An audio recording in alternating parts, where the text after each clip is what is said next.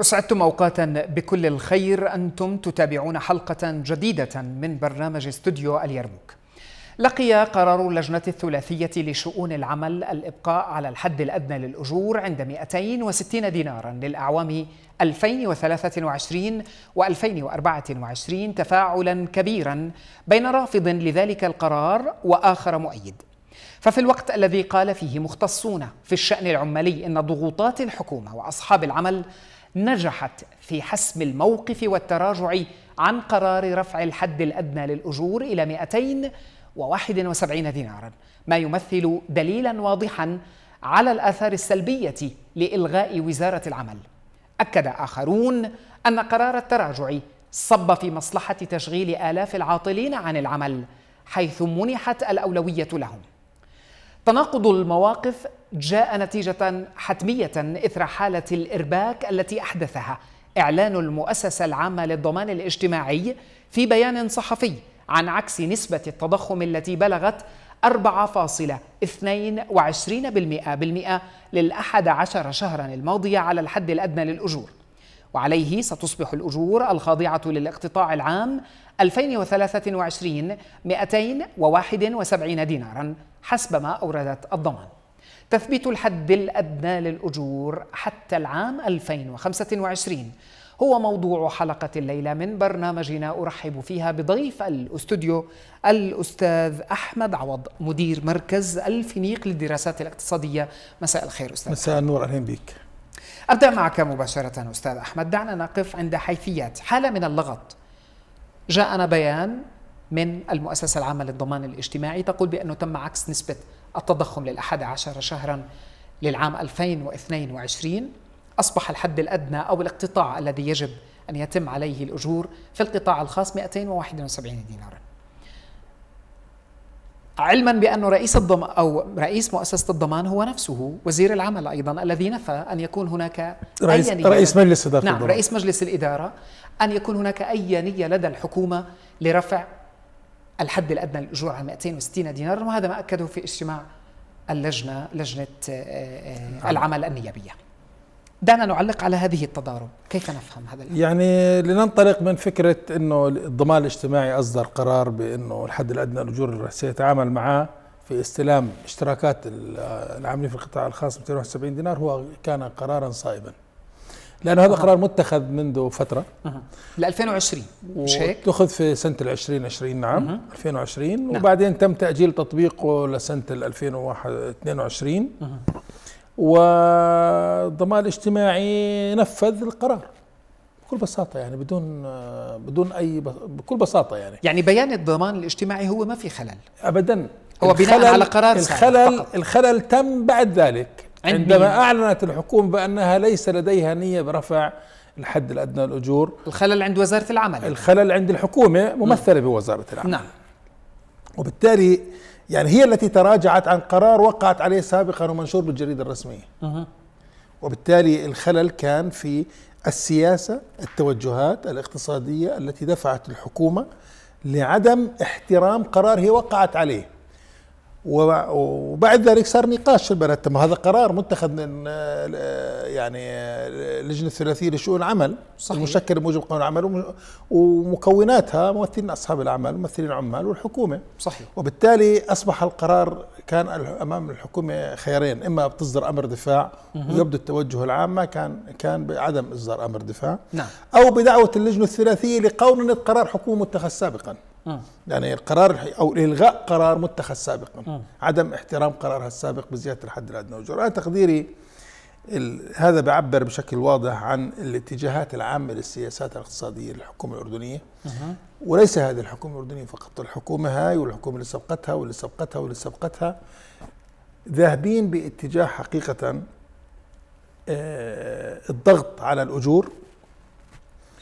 وهذه السياسة حقيقة أثبتت خلال السنوات الماضية بأنها هي سياسة غير حصيفة سياسة أسهمت في إضعاف الطلب المحلي سياسة أضعفت النمو الاقتصادي خاصة أنه رافق يرافقها سياسات ضرائب عالية نعم. باعتراف الحكومة حتى لو لم يعلنوا ذلك دائما ولكن بين فترة وفترة الحكومة وممثليها بتحدثوا أنه والله الضرائب الهيكل الضريبي في الأردن هيكل غير عادل. فيه اختلال مقارنة مع بالضبط ثلاث أرباع. الإيرادات الضريبية بيجي من ضرائب غير مباشرة وبالتالي آه، والربع بيجي من ضريبة الدخل اللي هي نعم. الضريبة العادلة يعني. نحن عن ضريبه ضرائب غير مباشرة نتحدث عن الضريبه العامة على المبيعات. ونحن بنعرف 16% ضريبة العامة على المبيعات عند الغالبية الكبرى من السلع. صحيح. عندك ضريبة ال- للغني والفقير على حد السواء. ضريبه تسمى ضريبة عمياء. لأنها لا تفرق بين غني وفقير. الضريبة الثانية اللي هي الضريبة المقطوعة على المشتقات النفطية وعلى الاتصالات وعلى الدخان وهي أيضا ضريبة عالية جدا رفعت أسعار الطاقة. بدل ما الحكومة تروح تدعم القطاع الخاص على حساب التخفيض من النف- مدخلات الإنتاج أها. هي تستند إلى فرضية وهمية غير صحيحة غير علمية غير مثبتة علميا بأنه الأجور آه، زيادة الأجور هذا سيضغط على القطاع الخاص وبالتالي قدرة القطاع الخاص على الاستمرار بتكون ضعيفة وقدرته على التشغيل بتكون ضعيفة. أنا تقديري العكس هو الصحيح. عندنا هناك مئات الآلاف من الشباب والشابات الأردنيين لا يرغبون بالانخراط في سوق العمل بوظائف متاحة لأنه شروط العمل فيها ضعيفة وعلى وجه الخصوص الأجور. لما يشتغل ب 260 و270 و250 هذا إذا احترموا الحد الادنى الأجور. طبيعي الشباب والشابات برفضوا يشتغلوا بهذا الشغل. لو شروط العمل كويسة والأجور محترمة وبتوفر الحد الأدنى من مستوى المعيشة الكريم كان شبابنا وشاباتنا خاصة الخريجين الجدد بيروحوا بيشتغلوا بأي شغل. عندنا 83% من خريجات الجامعات يعانون من البطالة. 83% هذا رقم دلالاته دلالاته كبيرة ودلالاته خطيرة. هذول الخريجات لو في عندهم آه، وظ- لو في وظائف بم- بمستوى جيد بدخل جيد بساعات عمل جيدة بينخرطوا بسوق العمل بس ما هو هذا مبرر. إذا ما كانت الدولة غير قادرة على تأمين هذه الوظائف أنا تقديري سوق العمل بالوقت اللي فيه بطالة 23% 23 واحد بالعشرة في المية في عندنا حوالي حسب ترشيحات الحكومة وتقديراتها حوالي 700 ألف عامل أجنبي بيشتغلوا. وبالتالي ال 700 ألف عامل أجنبي اللي بيشتغلوا هون ليش بيشتغلوا؟ لأنه في وظائف بيشتغلوا فيها بكل بساطة. القطاعات الاقتصادية موجودة. رغم الضعف النمو الاقتصادي ورغم ورغم ورغم ورغم كل ذلك إلا أنه الاقتصاد بولد سنويا فرص عمل سواء كان فرص عمل جديدة أو متقاعدين دي حل محلهم ناس أو أو أو, أو طيب ال 700 ل- 700 إلى 800 ألف هدول عامل وافد. في أي قطاعات يعملوا؟ هذول غالبية يعني من هو الاقتصاد الوطني بحاجة لهم بشكل كبير. تمام. وبيشتغلوا في القطاعات التي يعزف عنها الأردنيين الزراعة. وهذا موضوع الزراعة بده ينحكى لأنه أيضا الحد الأدنى للأجور لا يطبق حتى الحد الأدنى للأجور لا يطبق عليهم. وعندنا أنواع من العاملين والعاملات بالزراعة. تمام. وفي عندنا قطاع الإنشاءات وعندنا قطاع المحلات التجارية والمطاعم وإلى آخره. وبالتالي طب هذا الأردنيين ما بيشتغلوا فيه؟ لأنه مستوى لأنه المنافع اللي فيه ومستويات الأجور اللي فيه وشروط العمل اللي فيه ضعيفة. قاسية. وعندنا قصة إحنا عندنا قصص في الأردن عديدة عن صوابية الفرضية اللي بنتحدث فيها. كيف؟ إنه كل ما حسنت شروط العمل كل ما زدت رغبة الأردنيين والأردنيات للانخراط في سوق العمل. جميل. عندنا قبل حوالي 15 إلى 20 سنة عمال وطن عمال النظافة صحيح. غالبية الساحقة من العاملين في هذا القطاع كانوا عمال غير أردنيين. اللي صار كالتالي إنه الآن اختلف الوضع. طبعا الرواتب صارت كويسة وشروط العمل صارت ممتازة وصار عنده تأمين صحي وساعات عمل محدودة وإجازات وضمان اجتماعي. وصار وظيفة. الآن بحطوا واسطات الشباب عشان يشتغلوا عمال وطن عمال النظافة. يعني ما بدها قطاع حتى قطاع المطاعم وال- والفنادق سابقا كان غالبيته عمال أجانب. صرنا ندربهم ونعطيهم رواتب كويسة. صاروا يشتغلوا الاردنيين والأردنيات في هذه القطاعات. تمام. هذه ظواهر لم تكن موجودة سابقا. تمام بس العزوف أستاذ أحمد لحتى يكون الإنسان يعني موضوعي العزوف هي لا تقول بأنه لأنه شروط العمل غير مناسبة أو مش لا لا لا. بل بأنه هي تعزيها دائما الحكومة إلى ثقافة العيب. أنا تقديري ثقافة العيب هذه شماعة آه، ترفعها الحكومات التي لا أريد أن آه، يعني آه، أترك مصطلحات أيوة. التي لا تنجح في حل المشكلات اللي بيعاني منها المجتمعات. أها. ما في شيء اسمه ثقافة عيب. نعم. في كل دول العالم في وظائف الأردني أبناء البلد ما بيشتغلوها. البلد ما بيشتغلوها. بس لما نحسن شروط العمل فيها بصيروا يشتغلوا فيها. طيب تمام. أكثر من عامل نظافة؟ ليش صاروا الأردنيين بيشتغلوا في عمال نظافة؟ سؤال واضح هذا لكل المسؤولين اللي بي بيتحدثوا إنه والله فينا ثقافة عيب. حسن شروط العمل العمال بيشتغلوا. والسلام عليكم ورحمة الله. إيه واحد زائد واحد يساوي اثنين في هذا الموضوع. هلأ بيظل في ناس لا يرغبون بالعمل بهذه الوظيفة هذا بيتحمل المسؤولية. وهذا طبيعي. إيه طبيعي. الناس متنوعين. الناس يعني اتجاهاتهم مختلفة قدراتهم مختلفة نفسياتهم مختلفة ولكن لا نستطيع أن نقول إن الأردن في ثقافة عيب. في في الأردن ثقافة كرس ثقافة كرستها الحكومات. الشباب والشابات بخلصوا توجيهه على الجامعات. للعلم أحد أهم مشكلات سوق العمل في الأردن إنه غالبية شبابنا وشاباتنا بروحوا على الجامعات. طيب خليني أتوقف عند هذه النقطة. أتوقف عند هذه النقطة وأسمح لي أن أرحب بضيفي الذي ينضم إلينا عبر الهاتف رئيس اتحاد عام المزارعين الأستاذ عودة الرواجده مساء الخير أستاذ عودة. نور يا أهلا فيك الله يعطيك العافية. الله يعافيك. يعني أنت كنت أحد الحاضرين في الاجتماع الذي عقدته لجنة شؤون العمل الثلاثية أليس كذلك أستاذ عودة؟ نعم. نعم يعني هناك تساؤل. يعني لما أنتم ذهبتم إلى التوافق مع الحكومة عفوا بتثبيت الحد الأدنى للأجور عند 260 دينارا والنظر به مطلع العام 2025 شكرا لك على هذا الاتصال وعلى هذا الاهتمام إحنا أهلا وسهلا بلدنا ومواطنينا وأبنائنا انه كلهم كل واحد ينال نصيبه في الطريقة اللي بتريحه في العمل أو غير العمل. نعم. ظروف البلد اولا الوضع الاقتصادي عندنا في المملكة الأردنية الهاشمية يعني مش يعني هذاك الوضع المريح في الظروف الحالية، الكل بيعرف إنه وضعنا الاقتصادي في شوية خلخلة لكن نتامل في المستقبل في 2000 على أمل 2025 تتحسن الأمور. ترتفع الأجور العمال ويقبل العمال المواطنين الأردنيين على الأعمال اللي كانت في عندها عزوف. فكنا عندنا العمال الزراعيين في العمال الزراعيين في الأردن كانت كلها عمال زراعية أردنية. هذا الحكي قبل 20 25 سنة 30 سنة.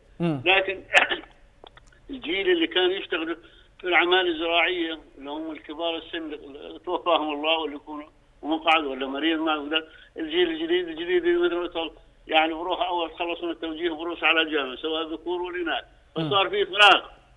صار في فراغ.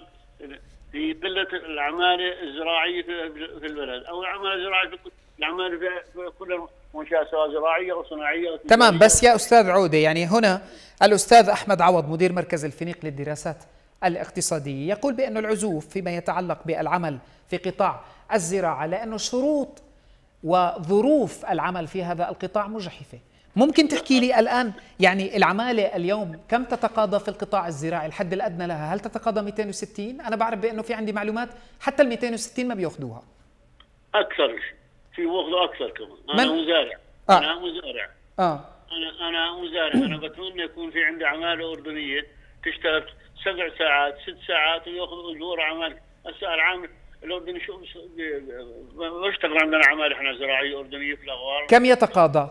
العامل الأردني؟ يوميا سبع دنانير وجبه وغداء وسياره وتوديه سيارة بتجيبه يشتغل خمس ساعات خمس ساعات يعني بنحكي إحنا 210 دنانير بالشهر إذا إذا اشتغل 30 يوم طيب ما بيشتغل هو بيشتغل الشهر كامل بيجي يوم بس يأخذ الأجار يومين ثلاثة ما بيرجع عليك مرة بصير عندنا خلل في العمالة وفي الإنتاج وفي الزراعة في الحصاد. أها فهذه مشكلة كمان عندنا إحنا ما في عليه إلزامية إنه يشتغل طيله الأسبوع وعاطل يوم جمعة مثلا يجي من السبت للخميس يشتغل لا يشتغل يومين ثلاثة بس يأخذ سواء الذكور أو الإناث يأخذ اجارهم ثلاث أيام أربع أيام يومين يومين أو ثلاثة ما بيجوا. فبصير عندنا خلل في العمل.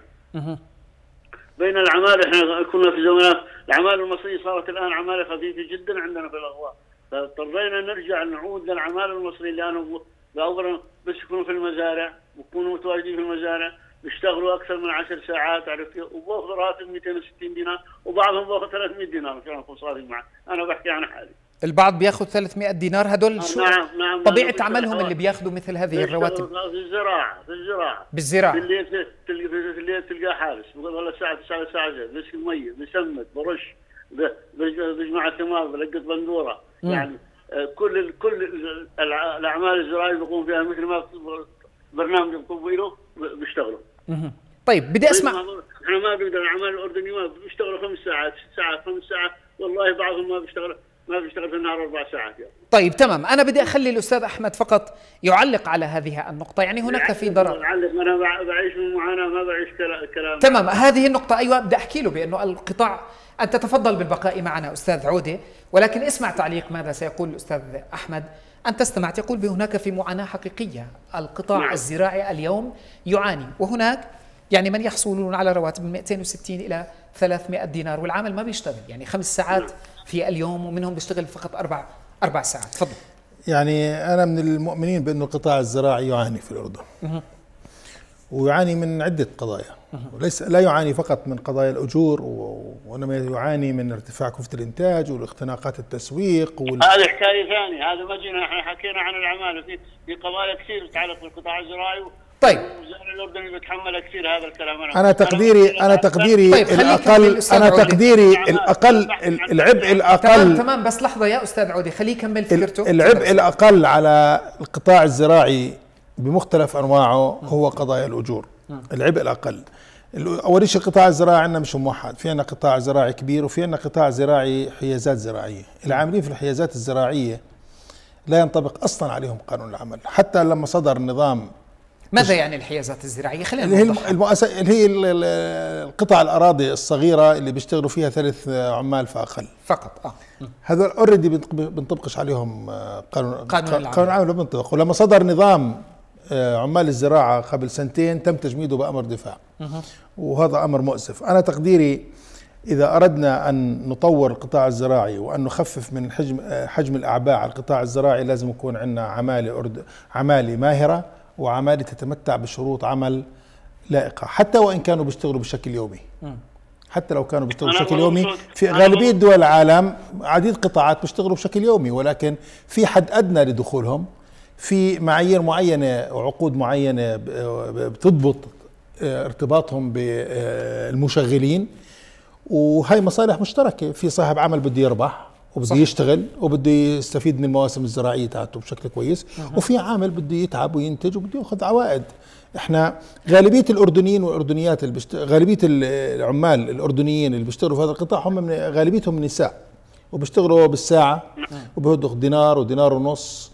وبيعيشوا ظروف عمل صعبة باعتراف الحكومة. ولا هذا ليس بس إحنا المجتمع المدني بنحكي فيه وليس مراكز الدراسات وليس المراقبين والإعلام وإنما نفس الحكومة بتقول شروط العمل في القطاع الزراعي شروط صعبة وشروط الصحة والسلامه المهنية ضعيفة جدا وخاصه في المواسم اللي بيكون فيها درجة الحرارة مرتفعة جدا. نعم. وتسليم الرواتب بيكون ضعيف جدا واحيانا بيتم على الموسم. يعني ما في نظام نظام محدد بيضبط طبيعة علاقة العمل بين أصحاب الأعمال وبين المشتغلين في هذا القطاع. في تفصيلات وتعقيدات كثيرة. تمام. كنا نأمل أنه نظام الزراعة يأخذ مداه اللي أصدرت الحكومة قبل سنتين يأخذ مداه في التطبيق عشان يصير تجربته واختباره من ثم إعادة بنائه. إلا إنه للأسف الشديد الحكومة رضخت لبعض أصحاب المصالح ولم تقم بتنفيذ ذلك. طيب أنا تقدير المفتاح آه. أيوة. توفر أيدي عاملة ماهرة تأخذ حقوقها كاملة وبتعطي حقوق أصحاب العمل كاملة. هذه النقطة التي سأنقلها لأستاذ عودي أستاذ عودي يعني أنا اللي مستغربه إلى الآن بأنه هل تعتقد بأنه أجر بمثل هذا ال ال الأجر يضاف إلى ذلك شروط عمل صعبة جدا في القطاع الزراعي؟ قال لك بأنه هناك يعني شروط الصحة والسلامة المهنية غير متحققة وغير متوفرة للعاملين في القطاع يضاف إلى ذلك قلة قلة الأجور. كيف لك أن يعني تستقطب الأيدي العمالة من أجل أن تقوم ب ب ب أو تنهض بهذا القطاع الزراعي في ظل هذه الظروف وهذه الشروط الصعبة جدا والمجحفة بحق العامل؟ ما هو خلينا نحكي كلام منطقي بي أي أي إجحاف يشرف العامل؟ أي إجحاف؟ قول لي قول لي بس عشان أنا أجاوبك على كل نقطة نقطة. إجحاف الأجور. هو يقول لك يعني انت أنت تعتقد بأنه 260 دينار هذه كافية لعامل؟ ودك ودك ودك أحكي كلام الصح واللي واللي بنمارسه إحنا يوميا كمزارعين ولا ودك أحكي كلام خيالي؟ لا بدنا كلام الصح بدنا كلام الصح. كلام الصح. الصح أنا قلت لك بيجي العمال تيجي الساعة 7 7 ونص عرفت كيف؟ ووجبة فطور لهم وحوالي الساعة 12 والساعة 1 ويقولوا لنا نروح. وبيتركوا وبيتركوا الشغل. علما هو مفروض إنه ثمان ساعات ثمان ساعات عمل. يتخلى فترة راحة ساعة ساعة ونص يعني ست ساعات ونص. لكن والله ما بيشتغلوا أربع ساعات ونص. وبوقت سبع دنانير. وسيارة بتوديهم سيارة بتجيبه والشروط الصحه العام الحمامات موجودة. والأكل موجود عندهم. السيارة بتوديه سياره بتجيهم. شو أكثر من هيك ولكن ما بيشتغلوا يا عمان. أكثر العمال بيشتغلوا عندنا القطاع النسائي. قلت لك بيشتغلوا يومين ثلاثة وبيقطعوك يومين ثلاثة. أيوه. ما في ربط ما في قواعد ثابتة أو جهات معينة تنظم العماله إنه عملك اليوم يبدأ من الساعة 7 وينتهي الساعة 3 اذا وجهه فطور أو وجهه غداء. قطاع غير منظم هو بحكي إحنا بحاجة لتنظيم الأعمال الزراعية في الأردن بحاجة لتنظيم وتشريعات وقوانين. طب هذا من يتحمل مسؤوليته؟ حال القطاع في هذه بهذا الشكل وهو واضح بانه قطاع غير غير منظم وغير متماسك، من الذي يتحمل مسؤوليته؟ أستاذ عودة؟ ما سمعتك شو قلت بقول طالما إنه القطاع يعاني كل هذه المعاناة. وأنت يعني رئيس اتحاد عام المزارعين أدرى بالكل والكليل. من الذي يتحمل هذه المسؤولية؟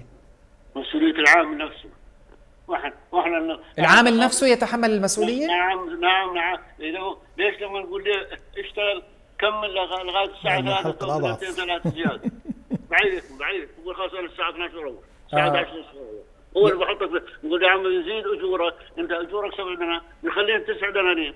يعني لأنه لأنه لأنه الحلقة الأضعف بهذه المعادلة يجب عليه أن يتحمل المسؤولية. ما في إلزام. ما في إلزام من العامل يشتغل الساعة 7 يتحدد أجوره بالشكل الصحيح.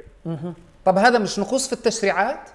وهذا بتحمله العامل؟ ما أنا صاحب ما أنا صاحب تشريع أنا مشان أقول لك نقص ولا هذه الدولة تتحملها. الدولة تتحملها. طيب لا طبعا الدولة هي اللي تحط التشريعات هذه للأعمال. طيب من خلال من خلال حضوركم لاجتماعات اللجنة الثلاثية لشؤون العمل هل استمعتم إلى وعودات من قبل الحكومة فيما يتعلق بالنهوض بالقطاع الزراعي؟ وزير وزير العمل كان صريح وواضح وصادق. قال لل 2024 بعدين 2024 بعد 2024 إن شاء الله تصير وتتحسن الأمور وما ما بتضل الحاله على الحاله هذا راح يكون في إجراءات لصالح لصالح العمال. تمام. طيب أنا بدي أشكرك جزيل الشكر الأستاذ عودة الرواجدي رئيس اتحاد عام المزارعين كنت معنا عبر الهاتف مباشرة شكرا جزيلا أستاذ عودة. أستاذ أحمد أنت استمعت يعني لما قاله هو يحمل المسؤولية للعامل في هذا القطاع. هو عامل غير منتظم غير معطاء وما في عنده إنتاجية. أنا تقديري بتم تحميل العامل آه، عبء يعني فوضى هذا القطاع آه، لأنه هو الحلقة الاضعف مالوش صوت. بس ما هو بحكي لك أربع ساعات وبياخذ سبع دنانير وبيجي يوم لو توفر له لو توفر له ثمان ساعات ومش دقيق يعني لما تحكي إنه بس بيشتغل أربع ساعات وخمس ساعات. م. يعني هو بجوز بيتحدث عن حالة معينة أو حيازة زراعية معينة وإلى آخره. ولما نتحدث عن اتحاد مزارعين عشان تكون المسمى واضح للمشاهدين أيوة. هو اتحاد أصحاب الحيازات الزراعية أكثر منه مزارعين يعني. أكثر من انه مزارع. يعني ممكن أكون أنا عامل مزارع ممكن أكون صاحب مزرعة صغيرة مزارع. أيوه. وبالتالي لما نتحدث عن اتحاد المزارعين الأردنيين إحنا نتحدث عن اتحاد أصحاب الحيازات الزراعية وبالتالي هم أصحاب أعمال ومشغلين. وهذول مطلوب دعمهم. لأنه هذول حقيقة هم اللي أنقذونا في جائحة كورونا. لما أغلقت الحدود هم اللي أنقذونا بجائحه كورونا. هم اللي وفروا الأكل وفروا الخضار وفروا إلى اخره نعم صحيح. مطلوب. ولكن دعمهم ما بيتم على حساب حقوق العمال. دعمهم بيتم من الحكومة. هذا قطاع غير منظم. قطاع كيف بده يتنظم؟ الدولة يجب أن تنظمه. الدولة عندها مؤسسات عندك وزارة عمل عندك وزارة الزراعة عندك البرلمان عندك مجلس الوزراء باخذ قرارات باخذ وحقيقة بدأت عملية تنظيم القطاع بإصدار نظام عمال الزراعة م. عشان يطبق قانون العمل عليهم لأنه هم خارج تطبيق قانون العمل هذا القطاع. ليتنظم أكثر. ولكن للأسف الشديد خضوعا يعني الحكومة كانت أضعف من أن تقول لا لأصحاب المصالح في هذا القطاع اللي ما بدهم تنظيم القطاع بده القطاع يظل فوضى. ليش مصلحته طب إنه ما يتنظم القطاع؟ عشان ما يعطي العمال حقوقهم. أنت لما تقول قطاع منظم بتحكي إنه أنا بدي أشغل عامل أنا كصاحب حياة زراعية أنا بدي أسجله في الضمان الاجتماعي. وأنا بدي أخليه يداوم 8 ساعات وبدي أضمن له شروط صحة وسلامة مهنية. إحنا وثقنا إصابات كارثية في منطقة الأغوار بالذات. في حالات وفاة. بين العاملين. طبعا في حالات وفاة. نتيجة ضربات الشمس ولدغات الأفاعي وإلى آخره. يعني هذا القطاع وأنا ما بحمل هاي المسؤولية لأصحاب الحيازات الزراعية. هي بتحمل مسؤوليتها الحكومة ممثلة بوزارة العمل. وبأقل درجة آه، وزارة الزراعة. لأنه هذا قطاع يجب أن يتنظم. والحكومة تعهدت بتنظيمه لأنها تراجعت بعد عدة أشهر من بدء عملية تنظيمه. إحنا كان لازم يأخذ مدى تنظيمه خمس ست سنوات اختبار للنظام.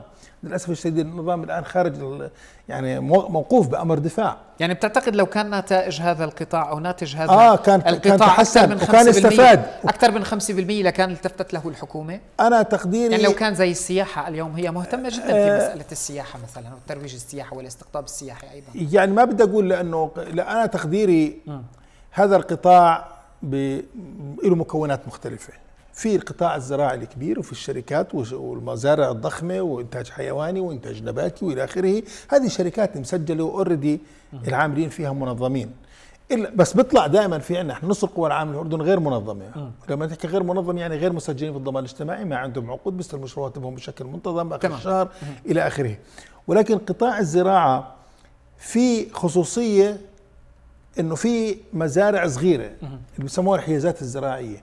هاي الحيازات الزراعية للأسف الشديد يعني غالبية القطاع وغالبية الإنتاج النباتي بيجي منها. وبالتالي يعني هناك آلاف المزارع الصغيرة. لو تم تنظيم هذا القطاع وتم ضبط شروط العمل فيه هذا سينعكس ايجابا على أصحاب الحيازات الزراعية المشغلين اللي هو بيمثلهم الأستاذ عودة اتحاد المزارعين الأردنيين وكان استفاد العمال وكان وتحسين شروط العمل في هذا القطاع كان نعم. شجع المزيد من الأردنيين والأردنيات للانخراط فيه. هناك آلاف الأردنيات يعملن يعملن في هذا القطاع. طيب تمام. وللأسف الشديد هذا القطاع هؤلاء السيدات نعم. هن الأكثر معاناة في الأردن في سوق العمل. جيد. حتى ما يكون فقط إنه أنا بتحدث عن الزراعة. عن الزراعة وواقع القطاع الزراعي لأنه إحنا يعني بهمنا كل ما يتعلق بالعامل الأردني فيما يتعلق بمسألة آه، آه، الأجر والحد الأدنى للأجر. كاميرا قناة اليرموك الفضائية أجرت استطلاع. وجهت سؤال لشريحة من المواطنين إذا ما كانوا يعتقدون أن 260 دينارا تكفي كحد أدنى للأجور. نستمع لإجاباتهم ومن ثم نكمل الحوار مع الأستاذ أحمد.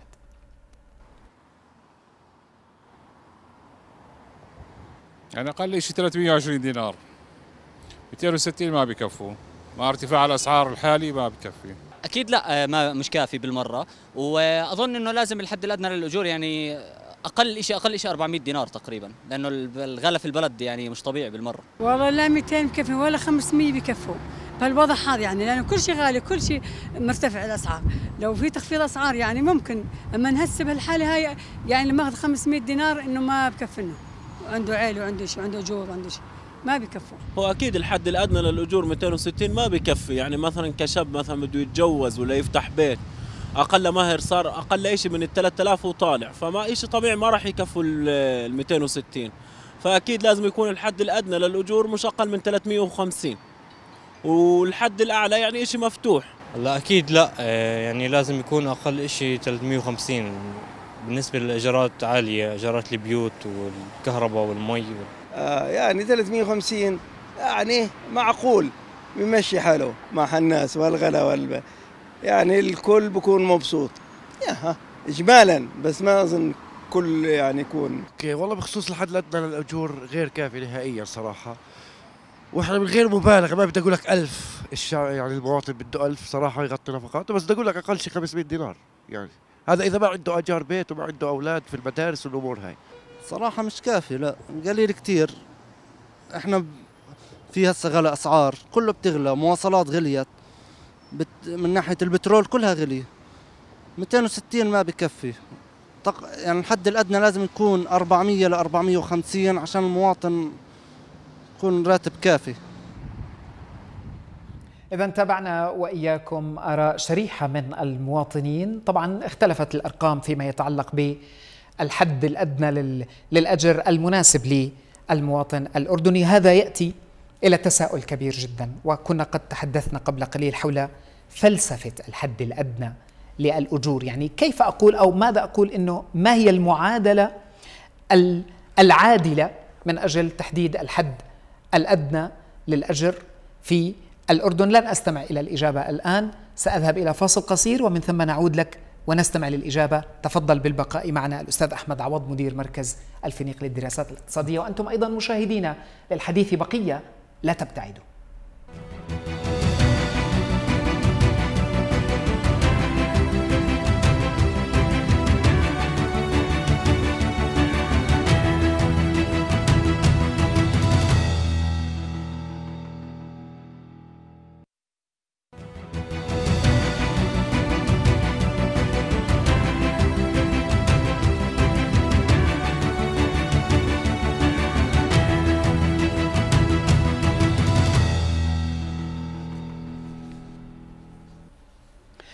أسعدتم أوقاتا من جديد في الجزء الثاني من هذه الحلقة من استوديو اليرموك والتي نناقش فيها تثبيت الحد الأدنى للأجور حتى العام 2025 من جديد أرحب بضيفي في الاستوديو الأستاذ أحمد عوض مدير مركز الفينيق للدراسات الاقتصادية. مساء الخير. مساء النور. من جديد أستاذ أحمد وكنت قبل الفاصل سألتك عن فلسفة أو معادلة تحديد الحد الأدنى للأجور. تفضل يعني الحد الادنى للاجور يعني إحنا من أواخر الدول اللي طبقت هذا النظام يعني هناك دول سبقتنا في هذا هناك النظام. غالبيه دول العالم لدي الغالبية الكبرى من دول العالم طبقت الحد ومن بينها عربية أيضا ومن بينها عربية ودول قلاع الرأسمالية العالمية طبقوها. هذا ردا على وجهات النظر اللي بتقول لك إنه هذا يتعارض مع فلسفة الاقتصاد الحديث وخلافه فلسفة الحد الأدنى للأجور بتقوم على أنه مهما كانت الفلسفة الاقتصادية لأي اقتصاد ولا أي دولة. ومهما كانت طبيعة السياسات الاقتصادية يجب أن يتم دفع ما يجب أن يكون الدخل لا يقل عن مبلغ محدد يكفي للإنسان أن يعيش هو أسرته بكرامة. بالتالي هو مرتبط بالمستوى المعيشي. لذلك يتم ربطه بمستويات التضخم. لذلك يتم دائما يتم الحديث دائما عن هذه الأداة اللي بيد الحكومة تستطيع أن تتحكم أن تستخدمها من أجل خلق التوازنات داخل المجتمع.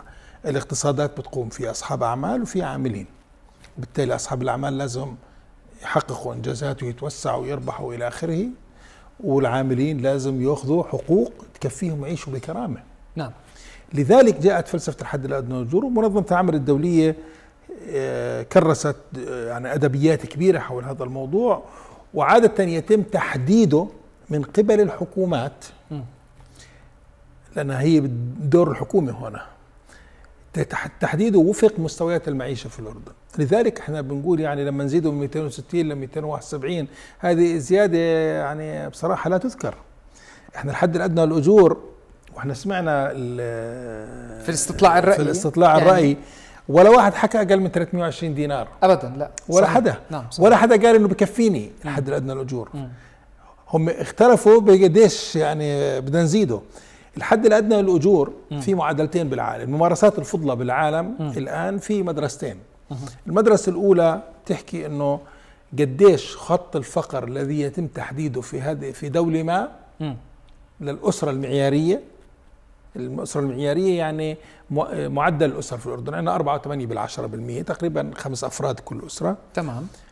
وقديش خط الفقر لكل فرد شهريا؟ وبناء عليه يتم حسبتها أرقام ما قبل 2019 100 دينار للفرد شهريا.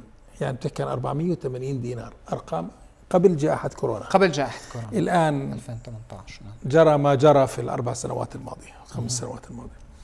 والمدرسة وبالتالي لازم يكون الحد الأدنى للأجور ما يقارب ال 480 دينار المدرسة الثانية بتقول اللي هي أقل تحفظا يعني أو أكثر تحفظا إنه قديش كل فرد بعيل الآخرين معدل الاعاله أيوه أه. إحنا عدل المشاركة الاقتصادية في الأردن حوالي 24 25% اللي يعني القوى العاملة فيه من مجمل المجتمع م. لذلك كل شخص يعيل أربعة بما فيهم نفسه م.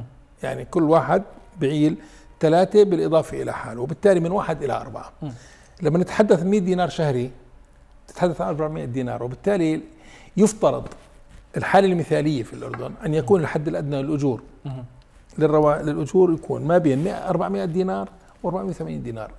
إحنا الآن وين وين هذا الرقم؟ ومع ذلك بنقول يعني لازم نزيده بشكل معقول اللي يمكن الناس تعيش بكرامة تعيش بالحد الأدنى.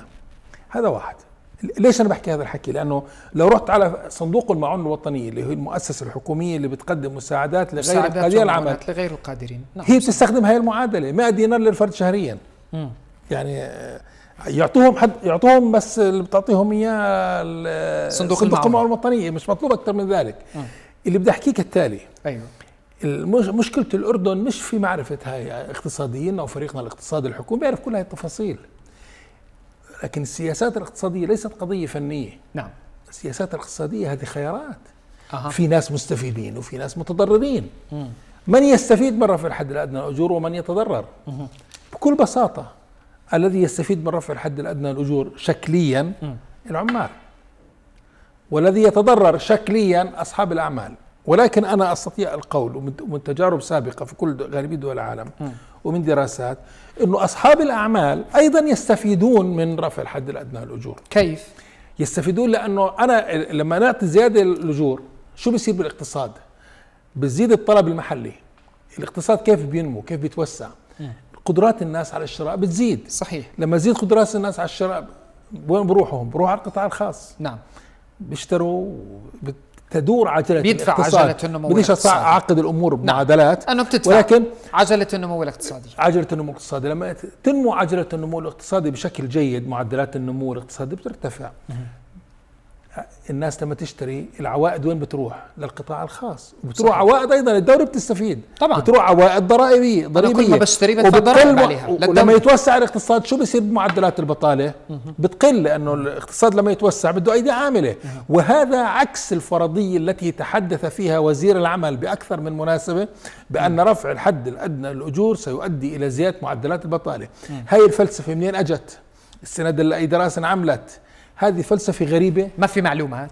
أو لا تستند إلى أنا حقائق. حقيقة حقيقة هي م- أقوال. ويمكن إنها آه، يعني نفذت في بلد أو أو يعني لو أخذنا بلد معين إلى آخره ولكن كل بلد له خصوصيته. الحد الأدنى للأجور أداة اجتماعية. الدولة ملزمة بتطبيقها لتقليل لمحاربة الفقر لتحفيز الاقتصاد من خلال زيادة الطلب الاستهلاكي. لتقليل التفاوت الاجتماعي ولإعادة توزيع الثروة في المجتمع عشان نقلل التفاوت الاجتماعي. إذا نظرنا للأردن دو الأردن من الدول اللي التفاوت الاجتماعي فيها كبير اللامساواة الاقتصادية فيها عندنا يعني على حسبة الحكومة ربع المجتمع فقير. بس في عندنا ثروات طائلة في المجتمع. في عندنا معدلات أجور طائلة في المجتمع. كنا بنعرفها. ما بدنا نحكي أسماء وشركات عشان ما نتحملش المسائل القانونية بالمحاكم أيوة. الأخرى. ولكن. هذا التفاوت الاجتماعي الدولة وظيفتها تحفظ التوازنات. لذلك الحكومات بتيجي بتفرض حد ادنى الاجور للعلم حتى لجنة الثلاثية هاي آه، شؤون العمل. يفترض أن لا يكون لو لو القضية مثالية آه. هذا قرار حكومي قرار مجلس وزراء. أيوة. لا لجنة ثلاثية بيخضع للتوازنات. الحفاظ على الأمن الاجتماعي لا يحتمل الحفاظ على التوازنات. أنا إذا بدي أحسن في تشريعات العمل آه اللجنة الثلاثية الحوار الثلاثي هو اللي بين هاي القضية. ولكن أنا عندي الحد الأدنى للأجور منخفض جدا.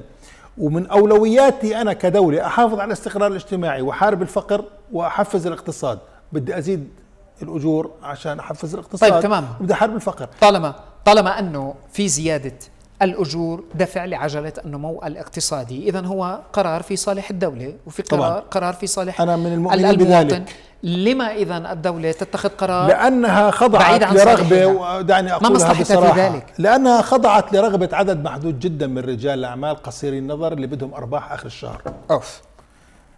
ما آخر همهم محاربة الفقر آخر همهم محاربة البطالة آخر همهم محاربة التفاوت الاجتماعي واللامساواه الاقتصاديه بدهم عائدات سريعة إلى آخره. ليش؟ أحكي لك هذا الحكي ال- المؤسسات الناجحة في الأردن واللي بتحقق ارباح هي المؤسسات؟ أعمل هي سكان سريع للبلد الاردن مين هي المؤسسات الناجحة وأسمائها لامعة ودائما تتوسع والى آخره؟ هي الشركات التي توفر للعاملين فيها شروط عمل لائقة وممتازة ورواتبهم ممتازة. اذا قضية أجر منخفض لا تحفز الاقتصاد. أيوة. هي تخدم مصالح فئة محددة من المجتمع على حساب مصالح المجتمع والاقتصاد الوطني. لذلك هاي دعوة للحكومة. أها. الحد الأدنى للاجور وزيادته ضرورة. طيب ضرورة. بس البعض بيقول البعض بيقول بأنه تنفيذ قرار زيادة الحد الأدنى للأجور هذا سيكون معيق لخطة أو لتنفيذ خطة التحديث الاقتصادي خاصة أنه الهدف الأول من الخطة هو كان مكافحة البطالة وتشغيل الشباب نتيجة. ما هو هذه مبنيه مبنية على فرضية انه بقول لك هذا لا يفسح المجال أمام. القطاعين الصناعي العكس والتجاري هو الصحيح. من أجل التعافي في ظل ظروف اقتصادية سيدي هذا جدا بيخدم القطاع بعد ما عشنا الصناعي جائحة كورونا هذا بيخدم القطاع الصناعي اللي بيعتمد على التصدير ليس غير والمؤسسات الصغيرة واللي حيكون فئه رجال الأعمال اللي هو البسيط. الحد الأدنى آه تثبيت الحد الاجور بيخدم القطاع الصناعي الذي يعتمد على التصدير لأنه بده ينافس في الاسواق العالميه. أنا تقدير الحكومة تستطيع أن تحقق الهدفين مع بعض. كيف؟ تستطيع أن تحقق الهدفين من خلال رفع الحد الأدنى الاجور عشان تحفظ التوازنات الاجتماعية في البلد واستقرار البلد وتحارب الفقر مه. وفي ذات الوقت تخفف أعباء القطاع الصناعي أها. اللي هو له قيمة قيمة مضافة في الاقتصاد من خلال التخفيف من مدخلات الإنتاج والتخفيف من أسعار المشتقات النفطية والضريبة العامه على المبيعات والرسوم الجمركية لمدخلات الإنتاج وإلى آخره من خلال تحفيزه ضريبيا. ولكن ليس على حساب الناس وللعلم هذه سياسه متبعة من من فترة. يعني حتى في تعديلات قانون الضمان الاجتماعي. ذاهبين باتجاه تخفيف من الحمايات لتشجيع القطاع الخاص في هذا الجانب. وهذا خطير. تحفيز الاقتصاد على حساب الحمايات الاجتماعية وشروط العمل هذا نتائجه ستكون كارثية على زيادة الفقر والبطالة مهم. أنا بدي القطاع الصناعي يتوسع وبدي لأنه القطاع الصناعي من القطاعات المشغلة بشكل كبير نعم صحيح. القطاع الصناعي لما يصدر بيجيب لي عملة صعبة على البلد بحسن من بحسن من الحساب الجاري بخفف من العجز الحساب الجاري لميزان المدفوعات وبالنهاية هو بحرك الاقتصاد. ولكن لا يكون على حساب الحد الأدنى من الحمايات وهذا بدفعنا نحكي عن قانون الضمان الاجتماعي قانون الضمان الاجتماعي وعلى هذه الطاولة ناقشناه. ذاهب باتجاه تخفيف الحمايات عشان يحفز القطاع الخاص لا يا حكومة انت روحي حفز القطاع الخاص من خلال تخفيض الضرائب. من خلال تخفيض الرسوم الجمركية من خلال تخفيض الضريبة العامة على المبيعات من خلال تخفيض أسعار الطاقة كمدخلات إنتاج مم. هي طريقة تدخلك مش تدخلك من خلال تخفيض الأجور والضغط عليها وإبقائها منخفضة وتخفيف الحمايات الاجتماعية بس هذا رح يقلل من موارد الخزينة وهذا تنظر أنا تقديري جزء مسار الاقتصاد مسار شمولي مم. أنا لما أزيد والعلاقة ليست ميكانيكية بس أنا بحاول أف... يعني أبسطها مم. لما يزيد النمو الاقتصادي الحقيقي الشمولي اللي بيستفيد منه كل الناس مش فئة محددة نعم حركة الاقتصاد ستتوسع إيرادات إيرادات الضريبية ستتوسع مم. هيك هيك وسع الاقتصاد بتزيد الإنتاجية فيه النمو الاقتصادي بده يزداد الايرادات الضريبيه رح تزيد. يعني ما بدها يعني ما بدها شوي عبقرية القصة يعني. اللي بيقول إنه والله زيادة الحد الأدنى للاجور ستعيق تنفيذ رؤية التحديث الاقتصادي؟ أها. ما قرأ رؤية التحديث الاقتصادي. أها. ما قرأها بعمق. التحديث الاقتصادي جزء منه تحسين شروط الحياة. مش بس هيك. الاستراتيجية الوطنية للحماية الاجتماعية اللي صدرت في 2019 تحت رعاية رئيس الوزراء في ذلك الوقت حك أول ركيزه من ركائزها اللي هي تحت بند فرصة تحسين شروط العمل وتوفير مختلف الأدوات التي تحسن شروط الحياة طب إذا الأجر طب والأجر إيش أحد أهم هاي الأدوات من أساسيات هذه. وبالتالي أنا إذا الواحد ليش بدون؟ للعلم أنا من الناس اللي بقول كالتالي. الرؤية التحديث الاقتصادي لا يمكن أن تحقق أهدافها دون أن نحسن شروط العمل في الأردن ودون أن نخفض الضرائب غير المباشرة طيب. خلاف ذلك مم. هي استراتيجية زي غيرها من الاستراتيجيات اللي عملناها آخر 20 30 سنة آه ألو... البعض ذهب أبعد من ذلك قال بأنه هذا بيعطينا يعني نتيجة بأنه يجب أن لا يكون وزير الصناعة هو وزير العمل وبأنه ما يحدث هو أحد الحيازات. يعني أحد مخرجات إلغاء طبعا. وزارة العمل و... و... والحبل على الجرار لسه يعني أنا ما بدي أروح لهذا لهي الزاوية مم. لهذا البعد أنا تقديري لو كان هناك وزيرا منفصلا للعمل هاي السياسة راح تمر لأنه هذه سياسة الحكومة أيوة. سياسة الفريق الاقتصادي للحكومة ولكن هذا اللي بحذرنا إحنا دائما بنحط يعني عراقيل أمام تدهور علاقات العمل وشروط العمل مم. إحنا بنقول وجود وزارة العمل على ضعفها ضرورة مم.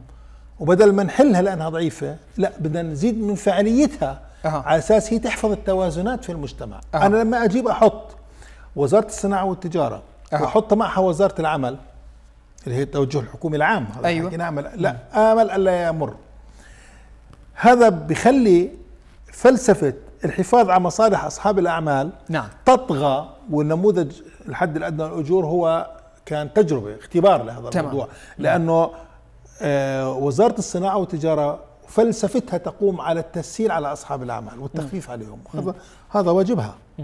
وزارة العمل واجبها تحافظ على حقوق. توازن توازنات علاقات العمل. صحيح.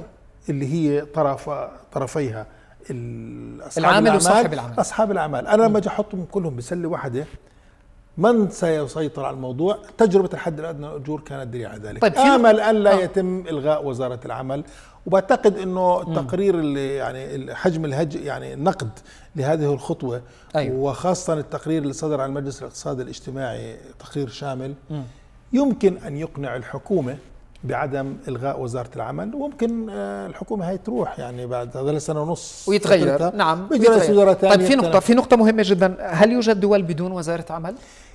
غالبية دول العالم فيها وزارات عمل بما فيها دول الخليج اللي هي يعني اللي هي الدولة اللي هي مسيطرة على كل حاجة يعني الولايات المتحدة وزارة العمل فيها عمرها 400 سنة كل دول أوروبا فيها وزارات عمل والعلم هي الدول المتقدمة قلاع الرأسمالية عندهم حدود دنيا الأجور منذ عشرات السنين. ودائما بيرفعوها يعني لما صارت جائحة كورونا الولايات المتحدة ودول أوروبا الغربية اللي هي يعني قلاع الرأسمالية في العالم كلها زادت الأجور الآن في إضرابات في بريطانيا إضرابات في في مع أنهم زادوا الحد في الأدنى- فرنسا مع أنه زاد زادوا الأجور. زادوا نعم،. الأجور نعم. ومع ليش؟ لأنه أنت لما يقل لما تزيد معدلات التضخم ولما يقل الطلب المحلي بسبب انخفاض الأجور أو محدوديته وإحنا بنعرف إنه هناك بياخذوا عشرات أضعافنا طبعا في مع فرق إنه كبير مستوى. نعم، الأسعار صحيح. في بلادنا زي مستوى الأسعار عندهم وأنا نعم. رحت الأسعار بدنا لدينا، نعم، وبالتالي نعم. هذه يعني القضية لازم نعرفها إنه وجود أجر لائق يكفي لحياة كريمة أها. يعني في طلب استهلاكي في طلب محلي على الاستهلاك في يعني وهذا آه، محرك أساسي من محركات النمو الاقتصادي وتوسعه. بدونه إحنا إلنا 14 سنة معدلات النمو الاقتصادي تقل عن 3% هذا سؤال لازم يسألوه حالهم صناع القرار الاقتصادي في البلد. ليش؟ لأنه مستويات الأجور عندنا منخفضة. طيب، أحد نقطة. أهم العوامل أها. أحد أهم العوامل يعني. ما بقول كل العوامل. إنه في عندنا أجور منخفضة. الطلب المحلي اللي بحفز الاقتصاد غير موجود. والحكومة بتعرف ذلك. لذلك بتلاحظ الحكومة كل فترة وفترة بتطلب من البنوك ما تاخذش أقساط القروض. ليه؟ عشان يوفروا سيولة بإيدين الناس وينزلوا على السوق يحركوا بس ما. بيزيدوا عليهم فوائد القروض هلا ثاني حدا- أحلى هدية بتعملها الحكومة أيوة. للقطاع المصرفي أيوة. تطلب منه ما ياخذ يأجل كيف القرض هو- القطاع المصرفي؟ طبعا لأنه هو بده يروح طبعا. يرفع بس ويزيد أنا- أنا الفائدة قص- على جبت. هذا المثل فقط للت... انه أثبت بإنه داخل الحكومة في قناعة. ولكن هذه سيا... سياسات الأجور المنخفضة هذه خيارات اقتصادية.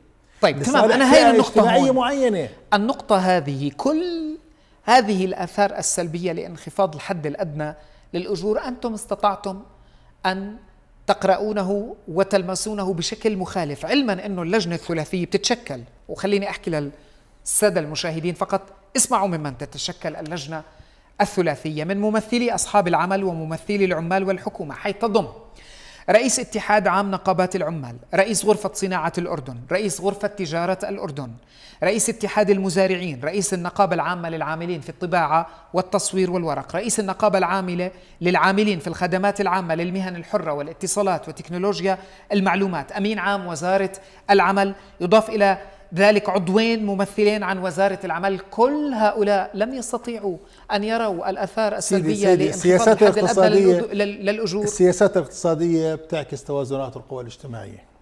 ال- المناصب والمؤسسات اللي ذكرتها حضرتك جزء كبير منها آه، يعني بدافع عن مصالحه بشكل كبير وخاصة أصحاب الأعمال.